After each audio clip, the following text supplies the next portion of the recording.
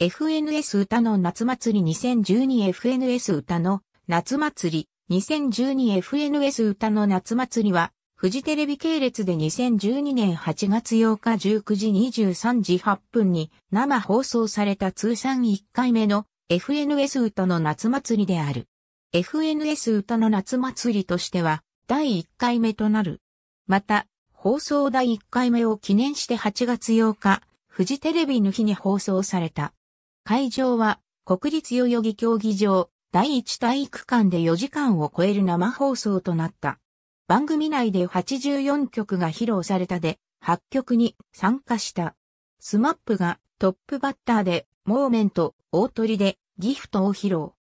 寺田恵子とスキャンダルが寺田率いる庄屋の限界ラバーズ歌唱中に民主党、自民党、公明党が増税法案可決で合意というニュース速報テロップが挿入された。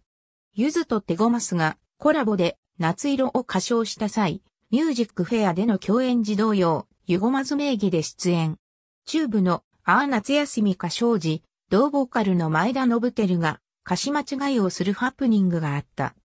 公式サイトには記載されていないが、同バンドのサポートミュージシャンは BB クイーンズとして出演した増崎孝司が所属しているディメンションの勝田和樹などが参加した。AKB48 ではギンガムチェックは初めて選抜フルメンバーで披露した。また、ソロでは前田敦子、渡辺麻友、指原莉乃が披露した。ジャニーズ事務所からはスマップ、ニュース、キスマイフット2、セクシーゾーンの4組が出演した。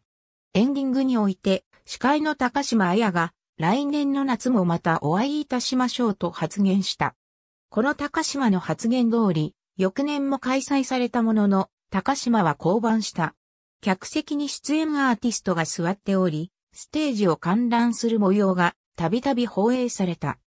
今回は全84曲中31曲がコラボレーションで披露され、年末放送の FNS 歌謡祭よりコラボレーションが少なめで、単体で新曲披露が多めの番組構成だった。演歌勢は坂本冬美のみの出演となった。ありがとうございます。